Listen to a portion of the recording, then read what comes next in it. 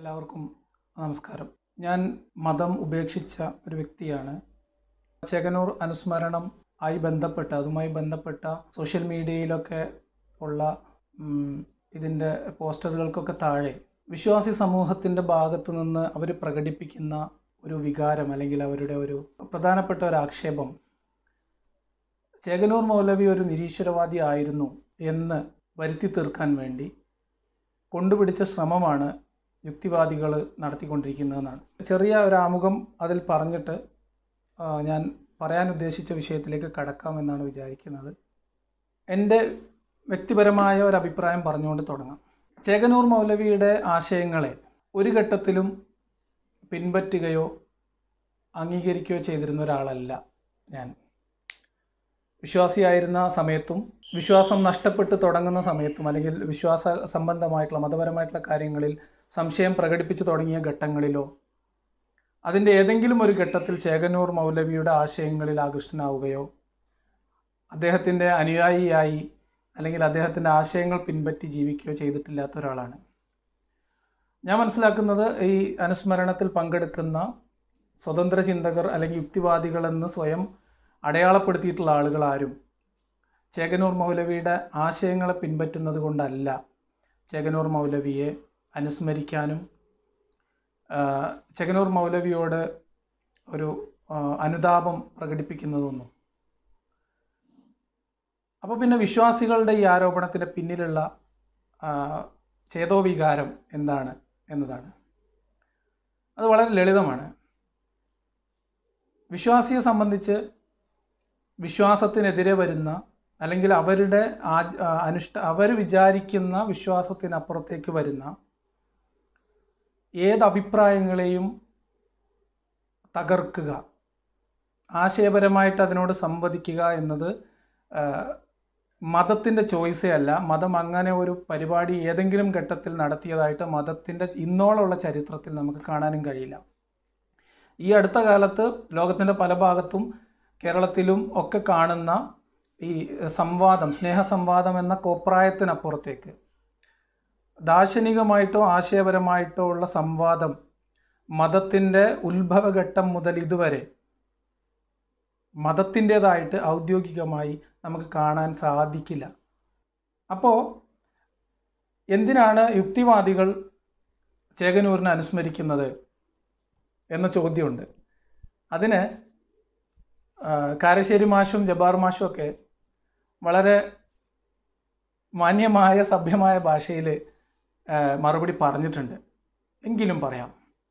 ഒരു മനുഷ്യന്റെ അഭിപ്രായ സ്വാതന്ത്ര്യം ഒരു മനുഷ്യന്റെ ജീവിക്കാനുള്ള അവകാശം ഒരു മനുഷ്യന് അവന്റെ ആശയങ്ങൾ പറയാനും പ്രചരിപ്പിക്കാനുമുള്ള അവകാശം അവനവൻ ഇസ്ലാം മതത്തിനകത്ത് ജനിച്ചുപോയി എന്ന ഒറ്റ കാരണം കൊണ്ട് ആ മതത്തിനകത്ത് അല്ലെങ്കിൽ ആ മതം നമ്മളെ പഠിപ്പിച്ച ആചാരങ്ങളിലോ അനുഷ്ഠാനങ്ങളിലോ ഏതെങ്കിലും സാമൂഹ്യമായിട്ടുള്ള നിയമങ്ങളിലോ ഒരു അഭിപ്രായം പറയാനോ വിമർശനം ഉന്നയിക്കാനോ സാധിക്കാത്ത തരത്തിൽ ആണ് ഓരോ മുസ്ലിമിന്റെയും ജീവിതം മുന്നോട്ട് പോകുന്നത്. അപ്പോൾ അങ്ങനെ വരു അങ്ങനെ വിമർശിക്കാൻ ശ്രമിക്കുന്നവരെ എങ്ങനെയാണ് മതം കൈകാര്യം ചെയ്യുന്നത് എന്ന് വളരെ വ്യക്തമായിട്ട് അറിയാവുന്ന ആളുകൾ ഇത്തരം ആൾ ഇത്തരം അക്രമങ്ങൾക്ക് അല്ലെങ്കിൽ ഈ അഭിപ്രായ സ്വാതന്ത്ര്യത്തിന് അഭിപ്രായം പ്രകടിപ്പിച്ചതിന്റെ പേരിൽ കൊല ചെയ്യപ്പെട്ട ആളുകളെ അനുസ്മരിക്കാൻ വിശ്വാസികൾ ആരെങ്കിലും യോഗം വിളിക്കുമെന്ന് നമ്മൾ ധരിക്കണം. സെക്യുലറായിട്ട് ചിന്തിക്കുന്നു പ്രവർത്തിക്കുന്നു എന്നൊക്കെ വിചാരിക്കുന്ന ഇന്ത്യയിലെ രാഷ്ട്രീയ പാർട്ടികൾ ആരെങ്കിലും ഏതെങ്കിലും ഒരു പ്രബല മതവിഭാഗത്തിന്റെ അക്രമത്തിൽ കൊല്ലപ്പെട്ട പ്രബലം എന്നുള്ളത് കൊണ്ട് ഞാൻ ഉദ്ദേശിക്കുന്നത് അംഗബലം ആണ്. തെരഞ്ഞെടുപ്പ് രാഷ്ട്രീയത്തിൽ വോട്ടിന്റെ എണ്ണത്തിൽ സ്വാധീനിക്കാൻ കഴിയുന്ന ഏതെങ്കിലും ഒരു മതസംഘടനയുടെ നേതൃത്വത്തിന്റെ അറിവോടെ ഏതെങ്കിലും ഒരു സാമുദായിക സംഘടനയുടെ നേതൃത്വത്തിന്റെ അറിവോടെ നടന്ന ഏതെങ്കിലും ഒരു അക്രമം കൊള്ള കൊല ഏതെങ്കിലും ഒരു വിഷയത്തിൽ ഏതെങ്കിലും ഒരു രാഷ്ട്രീയ പാർട്ടി ആർജവത്തോടെ നിലപാടെടുത്തത് സമീപ ചരിത്രത്തിൽ എവിടെയെങ്കിലും ചൂണ്ടിക്കാണിക്കാൻ കഴിയുമോ? അപ്പം രാജ്യത്തിന്റെ ഭരണ കാര്യങ്ങളിൽ ഭരണത്തിലും ഒക്കെ സ്വാധീനം ചെലുത്താൻ കഴിയുന്ന രാഷ്ട്രീയ പാർട്ടികളും മതങ്ങളും ഒരു പക്ഷത്ത് നിൽക്കുമ്പോൾ അഭിപ്രായ സ്വാതന്ത്ര്യത്തിന് വേണ്ടി വ്യക്തി സ്വാതന്ത്ര്യത്തിന് വേണ്ടി വാദിക്കുന്ന ആളുകൾക്ക് വേണ്ടി ശബ്ദിക്കാൻ പ്രത്യേകിച്ച് മതത്തിന് എതിരായി നിൽക്കുന്ന ഒരാളുടെ അഭിപ്രായ സ്വാതന്ത്ര്യത്തിന് വേണ്ടി വാദിക്കാൻ സ്വതന്ത്ര ചിന്തകരായിട്ടുള്ള മനുഷ്യസ്നേഹികളായിട്ടുള്ള മാനവിക ബോധമുള്ള റിലീജിയസ് അല്ലാത്ത മതത്തിന്റെ അടിമകളല്ലാത്ത രാഷ്ട്രീയ അടിമകളല്ലാത്ത വേറെ ആര് വരുമെന്നാണ് നമ്മൾ കാത്തിരിക്കേണ്ടത്. ആ കാരണം കൊണ്ടാണ് നമ്മൾ ചേകനൂർ വിഷയത്തിൽ അനുസ്മരണങ്ങൾ സംഘടിപ്പിക്കുന്നതും അതിൽ പ്രതിഷേധിക്കുന്നതും അതിൽ കഴിയുന്നത്ര നമ്മളെ ശബ്ദം ഉയർത്തി അതിനെതിരെ പ്രതികരിക്കുകയും ചെയ്യുന്നത്. ഇത്രയും പറഞ്ഞുകൊണ്ട് ഞാൻ ഞാൻ സംസാരിക്കണം എന്ന് വിചാരിച്ച വിഷയത്തിലേക്ക് വരാം. നമ്മൾ കേൾക്കുന്നത് മതം സമാധാനത്തിന്റെ മതമാണ്. ഞാൻ മതം എന്ന് പറയുന്നത് ഇസ്ലാം മതത്തിനെയാണ്. ഈ വിഷയത്തിൽ ഞാൻ ഇസ്ലാം മതം എന്ന് തന്നെ ഉദ്ദേശിച്ചുകൊണ്ടാണ് പറയുന്നത്. അതുകൊണ്ട് ഞാൻ എവിടെയൊക്കെ ഈ സംസാരത്തിനിടയിൽ മതം എന്ന് പറയുന്നോ അതിനൊക്കെ ഇസ്ലാം തന്നെയാണ് അർത്ഥം. അത് പ്രത്യേകമായിട്ട് പറഞ്ഞില്ലെങ്കിലും അങ്ങനെ വായിക്കണം അങ്ങനെ കേൾക്കണം എന്ന് അഭ്യർത്ഥിക്കുന്നു. ഇസ്ലാം മതത്തിന്റെ സമാധാനവും സഹിഷ്ണുതയും നമ്മൾ ഖുർആാനിൽ പരിശോധിച്ചാൽ നിരവധി സ്ഥലത്ത് കാണാൻ പറ്റും. ഞാൻ പറഞ്ഞ സഹിഷ്ണുതയാണ് എന്റെ ടൈറ്റിൽ പറഞ്ഞ സഹിഷ്ണുതയാണ് ഞാൻ പറഞ്ഞത് കേട്ടോ. ഇസ്ലാമിൽ സമാധാനം എന്ന് പറഞ്ഞ സാധനമില്ല. ഇസ്ലാമിൽ സഹിഷ്ണുത എന്ന് പറഞ്ഞ ഒരു സാധനമില്ല. സാഹോദര്യമില്ല സ്നേഹവുമില്ല സഹവർത്തിത്വമില്ല സമത്വമില്ല ഒന്നുമില്ല. പക്ഷേ ഇതൊക്കെ ഉണ്ട്. എവിടെയെന്ന് വെച്ചാൽ അത് മുസ്ലിങ്ങൾക്കിടയിൽ മാത്രം ബാധകമാകുന്ന സ്നേഹമുണ്ട് സാഹോദര്യമുണ്ട് എന്താ പറയുക സഹിഷ്ണുതയുണ്ട് ഒക്കെ ഉണ്ട് പക്ഷേ അത് ആ മതത്തിനകത്ത് പ്രവർത്തിക്കുകയും ആ മതത്തിൽ വിശ്വസിച്ച് ആ മതസമൂഹത്തിന്റെ ഭാഗമായി പൗരോഹിത്യം പറയുന്നത് അക്ഷരം പ്രതി അനുസരിക്കുകയും ചെയ്യുന്ന ആളുകൾക്ക് മാത്രം ബാധകമായിട്ടുള്ള കാര്യമാണ്. അതല്ലാതെ ലോകത്താകെയുള്ള മനുഷ്യരോട് സാഹോദര്യമെന്നും ലോകത്താകെയുള്ള മനുഷ്യരോട് സ്നേഹമെന്നും സഹവർത്തിത്വമെന്നും ഇസ്ലാമിന്റെ പേരിൽ ആരെങ്കിലും പറയുന്നുണ്ടെങ്കിൽ അത് പച്ചക്കള്ളമാണ്. അത് ഒരുപാട് നുണകളിൽ കെട്ടിപ്പടുത്ത ഈ മതത്തിൽ അതിന്റെ നിലനിൽപ്പിന് ഈ കാലഘട്ടത്തിൽ ആളുകളുടെ ഇടയിൽ പുറത്ത് പറയണമെങ്കിൽ ഇതൊക്കെ പറയണം എന്നതിന്റെ പേരിൽ മാത്രം പറയുന്നതാണ്. അതല്ലാതെ വസ്തുതാപരമായി പരിശോധിച്ചാൽ അതിന്റെ പ്രമാണങ്ങൾ പരിശോധിച്ചാലോ നമുക്ക് അങ്ങനെ ഒരു സാധനം കണ്ടെത്താൻ കഴിയില്ല. ഞാൻ ഈ പറയുന്ന പല കാര്യങ്ങളും ചേകനൂർ മൗലവിയുടെ ആശയങ്ങളുമായിട്ട് വിരുദ്ധമായിരിക്കാം. കാരണം ചേകനൂർ മൗലവി ഖുർആൻ അള്ളാഹുവിന്റെ ഒരു പ്രത്യേക മൊഴിജിസത്തായി പ്രവാചകന് ലഭിച്ച വേദഗ്രന്ഥമാണെന്ന് വിശ്വസിച്ച ആളാണ്. അത് ദൈവികമാണെന്ന് വിശ്വസിച്ച ആളാണ്. അത് അതിൽ ഒരു വൈരുദ്ധ്യങ്ങളുമില്ല. ഏത് തരത്തിൽ പരിശോധിച്ചാലും ഖുർആനിൽ വൈരുദ്ധ്യങ്ങൾ കാണാൻ കഴിയില്ല എന്ന് വാദിച്ച ആളാണ്. അപ്പോൾ ഇത്തരം വാദങ്ങളൊന്നും അംഗീകരിക്കുന്ന ആളല്ല ഞാൻ. അത് പറഞ്ഞുകൊണ്ട് തുടങ്ങാം. ഇനി മതത്തിന്റെ അസഹിഷ്ണുത അല്ലെങ്കിൽ മതത്തിന്റെ ഈ അക്രമത്തിന് ഇരയായത് നമ്മൾ ആലോചിക്കുന്നത് മുസ്ലിങ്ങളുടെ ശത്രുക്കൾ മാത്രമാണെന്നാണ്. മുസ്ലിം അല്ലാത്ത ആളുകൾ ആണ് ഇസ്ലാമിന്റെ ഇരകൾ എന്ന് ഞാൻ എന്തായാലും ആലോചിക്കുന്നു. ഞാൻ എന്തായാലും അങ്ങനെ ചിന്തിക്കുന്നില്ല പറയുന്നില്ല. നമുക്കൊരു ഇസ്ലാമിന്റെ ഒരു സഹിഷ്ണുതയും സഹനമൊക്കെ എങ്ങനെയാണ് പ്രവാചകൻ നുബുവത്ത് അവകാശപ്പെട്ടു വന്നത് മുതൽ ഉള്ളതെന്ന് വെറുതെ ഓടിച്ചു പോവാണ്. ഞാൻ വലിയ പ്രമാണങ്ങളൊന്നും ഉദ്ധരിക്കുക ഖുറാനോ ഹദീസിലേക്കൊന്നും പോകുന്നില്ല. ചില സംഭവങ്ങൾ വെറുതെ ഓർത്ത് ഓർത്ത് പോവാണ്. പ്രവാചകന്റെ നുപൂവത്ത് അവകാശവാദവുമായി വന്നതിന് ശേഷം മക്കയിലുണ്ടായിരുന്ന പത്ത് വർഷത്തോളം അതായത് ഹിജറ പോകുന്നതിന് മുൻപുള്ള കാലഘട്ടത്തിൽ ഇസ്ലാം സമാധാനത്തിന്റെ മതമായിരുന്നു എന്ന് വാദിക്കുന്ന ചില ഇസ്ലാം വിമർശകരെ നമ്മൾ കണ്ടിട്ടുണ്ട്. അത് ഞാനത് തമാശയായിട്ടാണ് എടുക്കാറ്. കാരണം പതിമൂന്ന് വർഷം കൊണ്ട് സഹിഷ്ണുതയുടെ മതം ഒരു വലിയ പൈശാചിക അക്രമങ്ങളുടെയും അധിനിവേശത്തിന്റെയും പിന്നെ അടിച്ചമർത്തലിന്റെയും കൊള്ളയുടെയും കൊലയുടെയൊക്കെ മതമായിട്ട് കേവലം രണ്ടോ മൂന്നോ വർഷം കൊണ്ട് പരിവർത്തനം സംഭവിക്കുമോ ഇല്ല എന്നാണ് ഞാൻ വിചാരിക്കുന്നത്. അപ്പോൾ എന്താ സംഭവിച്ചത്? മക്കയിൽ സ്നേഹബുദ്ധിയാൽ ഉപദേശിച്ചിട്ടും ആശയപ്രചാരണം നടത്തിയിട്ടും അനുയായികളെ കിട്ടാതെ ഇരിക്കുന്ന സമയത്ത് അവിടെ കായികമായിട്ടോ അല്ലെങ്കിൽ ഏതെങ്കിലും തരത്തിൽ യുദ്ധമോ അക്രമമോ ഒന്നും സാധ്യമല്ലാത്തൊരു കാലത്ത് അതിനുള്ള റിസോഴ്സസ് കയ്യിലില്ലാത്ത കാലത്ത് സ്നേഹം അഭിനയിക്കുക മാത്രമാണ് ചെയ്തിട്ടുള്ളത്. ലക്ഷ്യം എന്തായിരുന്നു എന്ന് നമുക്ക് കുറച്ച് കഴിയുമ്പോൾ തന്നെ മനസ്സിലാവും. അപ്പോൾ ആ സമയത്താണ് അവിടെ നിരവധി തവണ അവിടുത്തെ കുറേശി പ്രമുഖരുമായിട്ട് സന്ധി സംഭാഷണത്തിന് അവരുടെ ദൈവ ദേവ സങ്കല്പങ്ങളെയൊക്കെ പരസ്പരം ചില ചർച്ചകളൊക്കെ നടക്കുന്നുണ്ട്. അതിന്റെ ഭാഗമായിട്ടാണ് ലക്കും ദീനുക്കും വലിയ ദീനിന്റെ ആ സൂറത്തൊക്കെ വരുന്നത്. അപ്പോൾ അങ്ങനെയൊക്കെ ശ്രമിച്ചു. നടക്കുന്നില്ല. മദീനയിലേക്ക് ഹിജറ പോകുന്നു. മദീനയിലെത്തി ആദ്യത്തെ ഒരു വർഷം പിന്നിടുമ്പോഴേക്കും ഇസ്ലാം ഇസ്ലാമിന്റെ തനത് അതായത് ഇസ്ലാമിന്റെ തനത് സ്വരൂപം പുറത്തെടുത്ത് തുടങ്ങിയിരുന്നു. അത് നമുക്ക് പിന്നെ ഇസ്ലാമിക ഗ്രന്ഥങ്ങളിൽ തന്നെ ഖുർആാനിലും അതിന്റെ അനുബന്ധമായിട്ട് എഴുതിയിട്ടുള്ള ഹദീസ് ഗ്രന്ഥങ്ങളിലും പ്രവാചകന്റെ ചരിത്രം വിശദീകരിച്ച് എഴുതിയിട്ടുള്ള ഗ്രന്ഥങ്ങളിലൊക്കെ വ്യക്തമായിട്ട് മനസ്സിലാവുന്ന കാര്യമാണ്. ബദർ സംഭവിക്കുന്നു. അതുപോലെ നിരന്തരമായിട്ടുള്ള യുദ്ധങ്ങളും കൊള്ളകളും മദീനയ്ക്ക് ചുറ്റിലുമുണ്ടായിരുന്ന മുഴുവൻ ഗോത്രങ്ങളെയും ആക്രമിക്കുന്നു അടിച്ചമർത്തുന്നു ഇതൊക്കെ ചെയ്യുന്നുണ്ട്.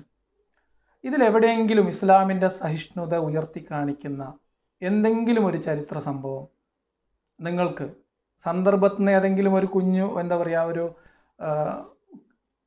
മരണാസന്നനായ ഒരു നായയ്ക്ക് തുകൽ പ ചെരുപ്പിൽ വെള്ളം ഒഴിച്ചു കൊടുത്തതിന്റെ പേരിൽ സ്വർഗത്തിൽ പോയ ഒരു ജൂത സ്ത്രീയുടെ കഥയല്ലാതെ അത്തരം പിന്നെ ന്യായീകരണ കഥകളല്ലാതെ ഏതെങ്കിലും ഒരു ചരിത്ര സംഭവം ഉദ്ധരിക്കാൻ കഴിയുമോ ഇല്ല എന്നാണ് ഞാൻ മനസ്സിലാക്കുന്നത്.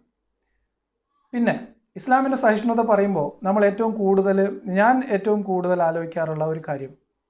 ഇപ്പോൾ ഇത് ബലി പെരുന്നാളൊക്കെ നടക്കുന്ന ദിവസം ഇന്ന് ബലി പെരുന്നാളായിരുന്നു ഇവിടെ. ഞാൻ ആ വിഷയം ഇന്നിപ്പോൾ വേറൊരു വീഡിയോയിൽ സംസാരിച്ച് കഴിഞ്ഞതേ ഉള്ളൂ. സത്യത്തിൽ ബലി പെരുന്നാൾ അല്ലെങ്കിൽ ഹജ്ജ് എന്ന് പറയുന്നത് മക്കയെ കീഴ്പ്പെടുത്താനുള്ള ഒരു സന്നാഹത്തെ ഒരു ഒരു സന്നാഹമായിരുന്നു അത്. ഹിജ്റ എത്തി രണ്ടാമത്തെ വർഷത്തിലാണ് ഹജ്ജ് വിശ്വാസിക്ക് നിർബന്ധമാണ് എന്ന രീതിയിൽ നിയമം കൊണ്ടുവരുന്നത്. അതിനുശേഷം നാല് വർഷത്തിന് ശേഷമാണ് പ്രവാചകൻ അതിനിടയ്ക്ക് സമ്പാദിച്ച സ്വത്തും ആയുധങ്ങളുമൊക്കെ സ്വരുക്കൂട്ടി ആയിരത്തി നാനൂറ് അനുയായികളുമായി മക്കയിലേക്ക് മാർച്ച് ചെയ്യുന്നത്. ആ മാർച്ച് മക്കയിലേക്ക് പ്രവേശിക്കുന്നതിന് മുൻപ് മുഹമ്മദിന്റെയും സംഘത്തിന്റെയും സായുധ സംഘത്തിന്റെയും വരവ് മണത്തറിഞ്ഞ കുറേശികൾ തടയുകയും അവിടുന്ന് തിരിച്ചു പോരുകയാണ് ചെയ്യുന്നത്. അവിടുന്ന് മുഹമ്മദും സംഘവും തിരിച്ചു പോരുകയാണ് ചെയ്യുന്നത്. അതിനടുത്ത് ആ സമയത്താണ് അവിടെ ഉടമ്പടി എഴുതുന്നത്. പരസ്പരം പത്ത് വർഷത്തേക്ക് അക്രമം ചെയ്യില്ല എന്ന ഉടമ്പടിയുടെ അടിസ്ഥാനത്തിൽ അതിനടുത്ത വർഷം അവിടുന്ന് അറേബ്യൻ സംഘം അവിടെ ഉമ്ര ചെയ്ത് മടങ്ങുന്നുണ്ട്. അത് സമാധാനം ഞങ്ങൾ അംഗീകരിക്കുന്നു എന്ന് കുറേശികളെ തെറ്റിദ്ധരിപ്പിക്കാൻ വേണ്ടി മാത്രം പോയ ഒരു പോക്കാണ്. തൊട്ടടുത്ത വർഷം ഹജ്ജിന് വേഷം കെട്ടി ആയിരക്കണക്കിന് ആളുകളുമായിട്ട് സൈന്യം മക്ക പിടിച്ചടക്കുന്നു ഹിജറ എട്ടാം വർഷം. ഹിജറ ഒമ്പതാം വർഷം ഇസ്ലാമിന്റെ സഹിഷ്ണുത മക്ക നിവാസികളിൽ കണ്ടതാണ്. ഇസ്ലാം മുഹമ്മദിന്റെ പ്രവാചകത്വത്തിന് മുൻപും മക്കം ഫതഹിന് മുൻപ് വരെ മക്ക പിടിച്ചടക്കുന്ന മുഹമ്മദിന്റെ അക്രമത്തിന് മുൻപ് വരെ എല്ലാ ഗോത്രങ്ങളിലും പെട്ട ആളുകൾ ഒരുമിച്ച് കൂടിയിരുന്ന ആരാധനാലയം. സ്നേഹത്തോടെയും സഹവർത്തിത്വത്തോടെയും എല്ലാവരുടെ ദൈവദേവ സങ്കല്പങ്ങൾക്കും ബിംബങ്ങൾ സ്ഥാപിച്ച് എല്ലാവരും ആരാധന അർപ്പിച്ചിരുന്ന സ്ഥലം. മുഹമ്മദിനും മുഹമ്മദിന്റെ ആരാധനകൾ അർപ്പിക്കാൻ സ്വാതന്ത്ര്യമുണ്ടായിരുന്ന ഒരു ഒരു ഒരു ക്ഷേത്രം.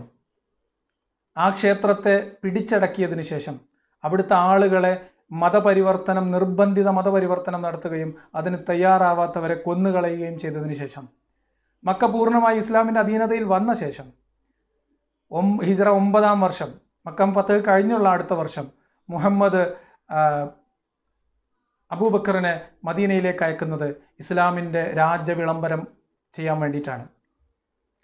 അതിൽ പ്രധാനപ്പെട്ട മൂന്ന് കാര്യങ്ങളിൽ ഒന്ന് അന്ന് വരെ അവിടെ നടന്നു പോന്നിരുന്ന ചില തവാഫുകൾ ചില ആരാധനകൾ നിരോധിക്കുകയാണ്. പല ഗോത്ര വിഭാഗങ്ങളും വിവസ്ത്രരായി അവിടെ തവാഫ് ചെയ്തിരുന്നു എന്ന ആണ് ഇവർ പറയുന്നത്. അത്തരം തവാഫുകൾ നിരോധിക്കുന്നു. അത് നമുക്ക് കേവലം ഒരു പരിഷ്കാരത്തിന്റെ ഭാഗമാണെന്ന് വിചാരിക്കാം. അടുത്തത് മുസ്ലിങ്ങളല്ലാത്തവർക്ക് ഹജ്ജ് ചെയ്യാനുള്ള അനുമതി അനുവാദം നിഷേധിക്കുന്നു.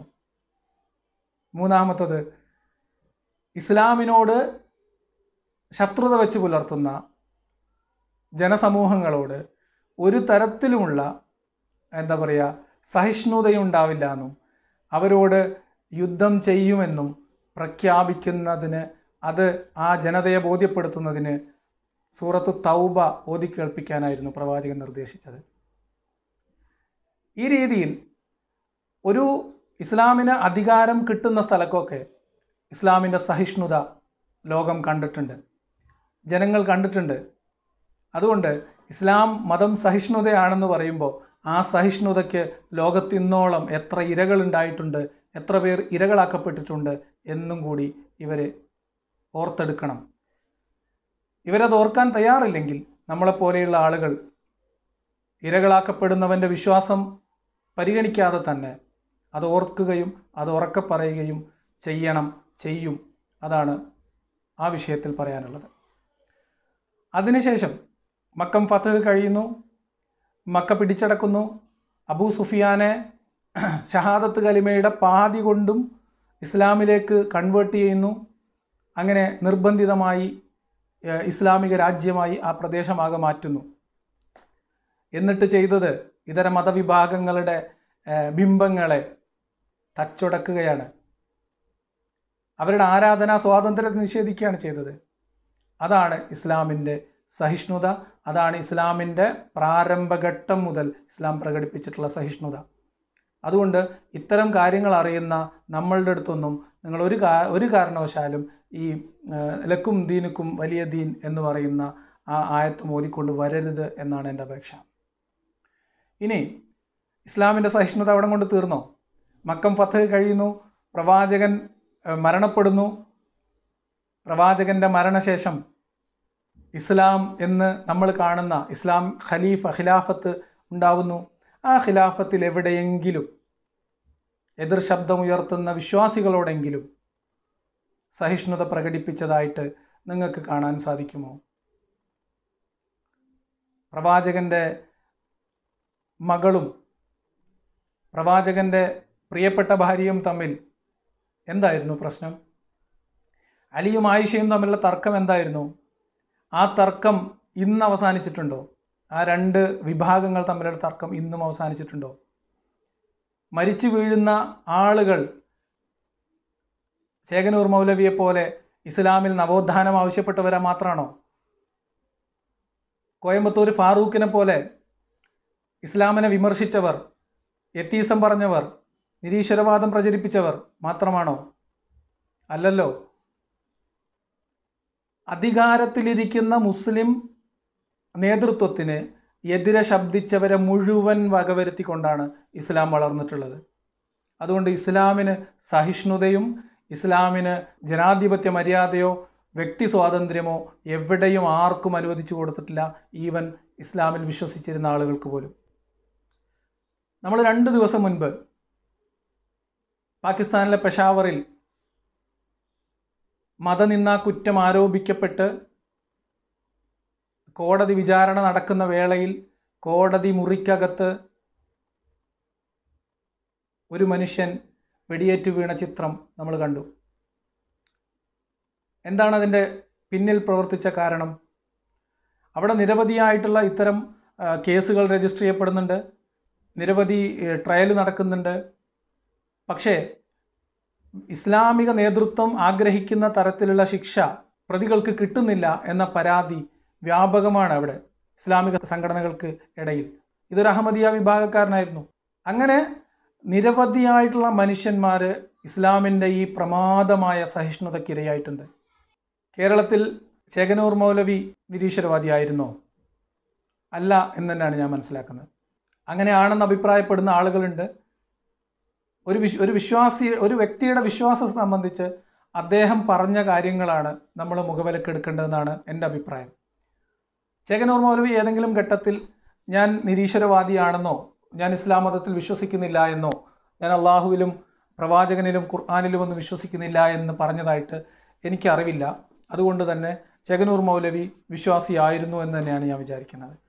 അതേ സമയത്ത് കാലഹരണപ്പെട്ട ഇസ്ലാമിക ശരീരത്ത് പിൽക്കാലത്ത് ഖുർആാനിൽ ഇല്ലാത്ത പിൽക്കാലത്ത് വന്ന ഖലീഫമാരുടെ താല്പര്യങ്ങൾക്കനുസരിച്ച് ഭരണാധികാരികളുടെ താല്പര്യങ്ങൾക്കനുസരിച്ച് കൂലിക്കാരെ വെച്ച് എഴുതിയുണ്ടാക്കിയ ഹദീസ് ഗ്രന്ഥങ്ങളും ചരിത്ര ഗ്രന്ഥങ്ങളും. അതിനെ പിൻപറ്റിക്കൊണ്ട് രൂപപ്പെട്ടു വന്നിട്ടുള്ള ശരിയത്ത് നിയമങ്ങളും കാലാനുസൃതമായി പരിഷ്കരിക്കണം എന്ന വളരെ ലളിതമായ വളരെ നിസാരമായ ഒരാവശ്യമാണ് ചേകനൂർ മൗലവി ഉന്നയിച്ചത്. അത് അദ്ദേഹം ചെയ്തത് മതത്തിനകത്ത് നിന്നുകൊണ്ട് തന്നെയാണ് ഖുർആാനിനെ അംഗീകരിച്ചുകൊണ്ട് തന്നെയാണ്. അപ്പം അങ്ങനെ മതത്തിൽ ഇപ്പം നമ്മൾ ആയിട്ട് കാണുന്ന ഒരു ഒരു പാറ്റേൺ എന്താണെന്ന് ചോദിച്ചാൽ മതത്തിനകത്തു നിന്ന് മതവിമർശനം നടത്തുന്നവരെ എളുപ്പത്തിൽ കൊന്നുകളയാം എളുപ്പത്തിൽ നിശബ്ദരാക്കാം എന്ന സ്ട്രാറ്റജിയാണ് കേരളത്തിലൊക്കെ എന്തായാലും ഇസ്ലാമിസ്റ്റുകൾ സ്വീകരിച്ച് സ്വീകരിച്ചുകൊണ്ടിരിക്കുന്നത്.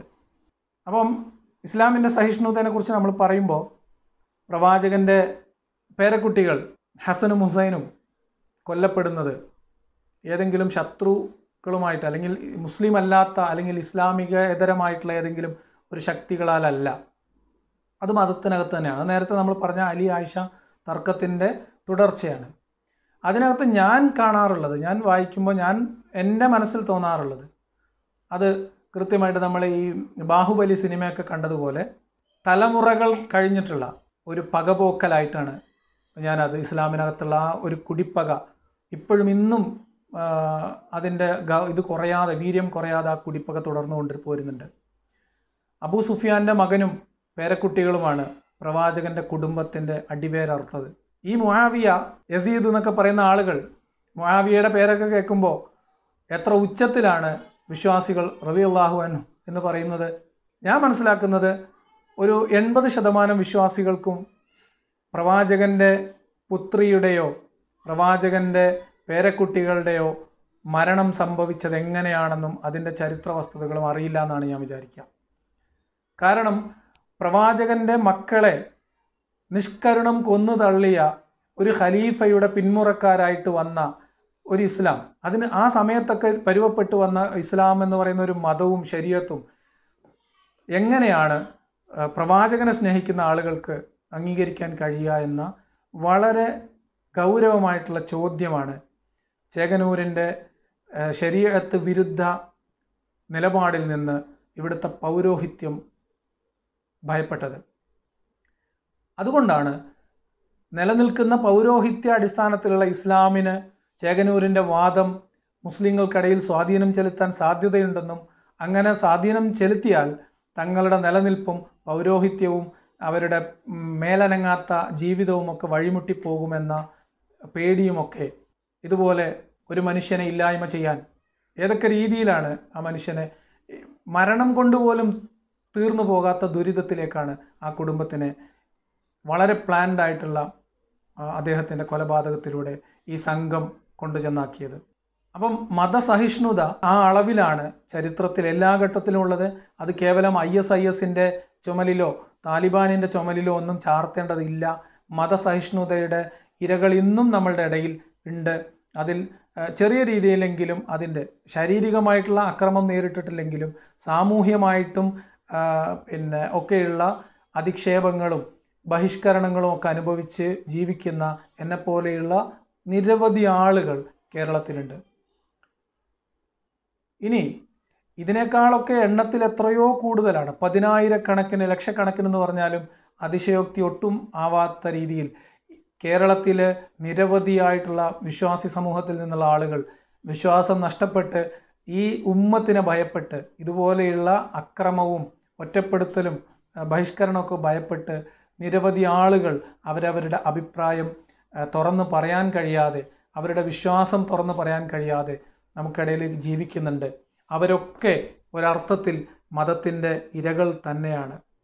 അതുകൊണ്ട് എല്ലാ അർത്ഥത്തിലും പിന്നെ ഒരു കാര്യം പറയാറുള്ളത് ചേകനൂർ മൗലവി അതിനെ തുടർന്നുണ്ടായിട്ടുള്ള കേരളത്തിൽ പിന്നീട് സംഭവിച്ച പ്രമാദമായിട്ടുള്ള ജോസഫ് മാഷ്ടെ ജോസഫ് മാഷ്ക്ക് നേരെ ഉണ്ടായിട്ടുള്ള അക്രമം അതൊക്കെ കഴിയുമ്പോൾ മാറി വന്ന രാഷ്ട്രീയ സാഹചര്യത്തിന്റെ പേരിൽ കേരളത്തിൽ നേരിട്ടുള്ള കായികമായിട്ടുള്ള അക്രമത്തിന് ഒരു ചെറിയ അറുതി വന്നിട്ടുണ്ട്.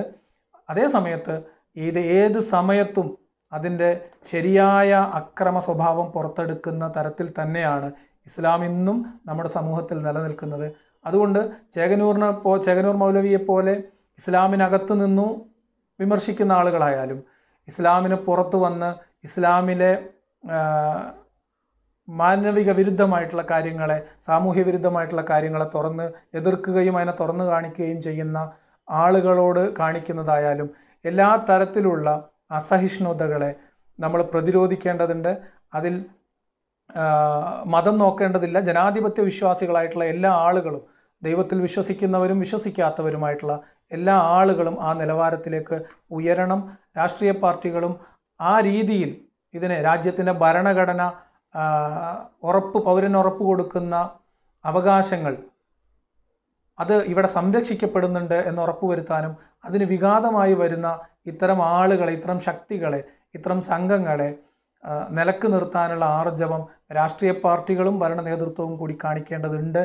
എന്തായാലും ഈ ചെകനൂർ അനുസ്മരണം ഓരോ വർഷം കഴിയും തോറും കൂടുതൽ കൂടുതൽ പിന്നെ ശ്രദ്ധിക്കപ്പെടുന്നുണ്ട് കൂടുതൽ കൂടുതൽ ചർച്ച ചെയ്യപ്പെടുന്നുണ്ട് എന്നത് വലിയ പ്രതീക്ഷയാണ് കേരളത്തിലെ മതേതരമായിട്ട് ചിന്തിക്കുകയും വിശ്വസിക്കുകയൊക്കെ ചെയ്യ ജീവിക്കുകയും ചെയ്യുന്ന ആളുകൾക്ക് ഉള്ളത്.